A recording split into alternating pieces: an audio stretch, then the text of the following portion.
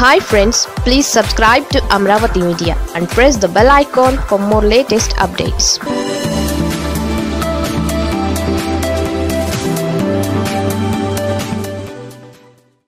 సొంత పార్టీలో పొగ కేసునేనే నిర్ణయం ఇదేనా?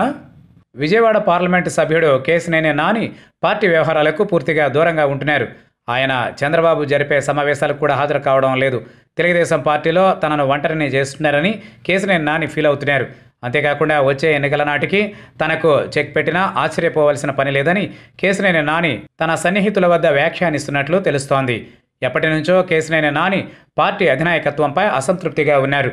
ఓటమి తరువాత తన సొంత భవనం నుంచి పార్టీ కార్యాలయాన్ని తీసివేయడం దగ్గర నుంచి కేసినేని నాని గుర్రగా ఉన్నారు. దీని వెనుక దేవినేని ఉమా ఉన్నాడని తెలిసినా ఆయనపై అధినాయకత్వం ఎలాంటి చర్యలు తీసుకోదని భావించి మౌనంగా ఉన్నారు. ఇక పార్టీలోనూ తనకు ఎలాంటి పదవులు ఇవ్వకపోవడంపై కూడా కేసినేని నాని ఆగ్రహంగా ఉన్నారని తెలిసింది. దీనికి తోడు ఇటీవల జరిగిన విజయవాడ కార్పొరేషన్ ఎన్నికలు అధినాయకత్వానికి కేసినేని నానికి మధ్య మరింత దూరం పెంచాయంటున్నారు.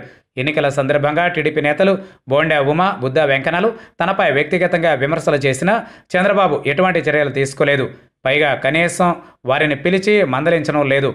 తనపై నగర నాయకులు తిరగబడినా పట్టించుకొని అధిష్టానాన్ని సమయం వచ్చినప్పుడు కడిగేయాలని కేసినేని నాని భావిస్తున్నారు. అయితే తనకు పొగబెడుతున్నారని కేసినేని నాని భావిస్తున్నారు. ఎన్నికలకు ముందే తాను సర్దుకుంటే మంచిదన్న ఆలోచనలో ఆయన ఉన్నట్లు తెలుస్తోంది. ఒక దశలో బీజేపీలోకి వెళ్ళాలనుకున్నారు. బీజేపీలోకి వెళ్ళి పోటీ చేద్దామనుకునే ఆ పార్టీకి సరైన ఓటు బ్యాంక్ లేదు.